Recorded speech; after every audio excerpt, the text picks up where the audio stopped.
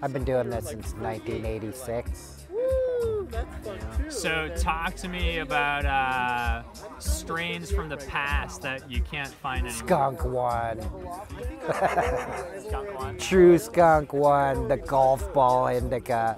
Nobody has it anymore. That's I'll show them to you because I, I uh, that one. Um, the original Mendo purple.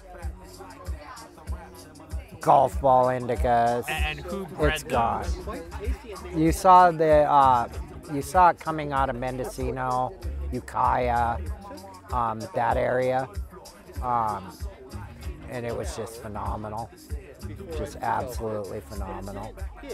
Um, and it's gone. You know, it, it disappeared in the early 90s. Both of those, for only one hour. both of those did. You know, the CAMP raids were more effective than people think they were. Zero. I mean, yeah, a lot of grows were left intact up there, but a lot of strains were lost. A lot. Look at it. Yeah.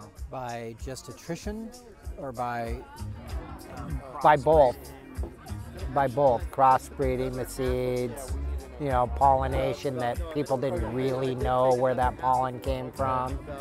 You know, um, and it was I mean, we had some great sticky weed in the late 80s, early 90s. And where, where were you growing in the late You know, 80s, early 90s? San Fernando Valley.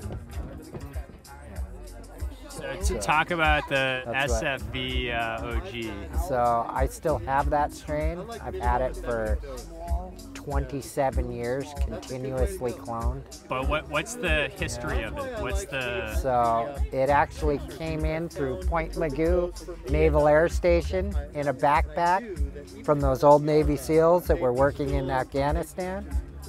That's where it came from. That's where it came from. and you got a cut? And I got a cut. I got a bag of seeds, you know, directly out of there. And And what what was- made that a standout You cultivar? well, the one that purely a I brought with effect. are not the full It is This one is more of the original PK, It has less so SFV OG. it's going to be mellower. its original name was PK, you know, the pure Kush, you know. Um, and that is the original FF, SFV.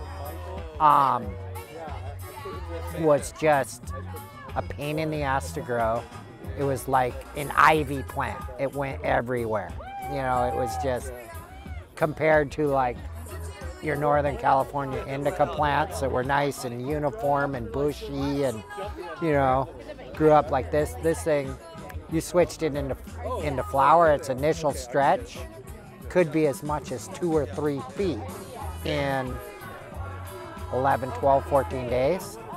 Like maintaining a light height on those was just like wow, you know, um, super hard, you know, and and your bud structure was nowhere as close together as the indicas out of Northern California.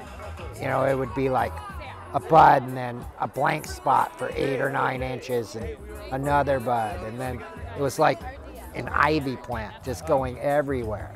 So getting that plant to respond properly and get a tight bud structure was just really, really a tough, tough play.